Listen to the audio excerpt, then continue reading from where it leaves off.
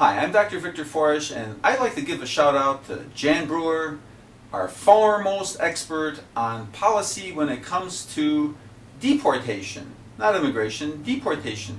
Jan wants to deport people as a governor from the state of Arizona. Not from the United States of America, but from the state of Arizona. I hope she doesn't think she can deport people to New Mexico or Mexico or anywhere else because that might be unconstitutional. But when did that ever stop Jan Brewer from doing anything?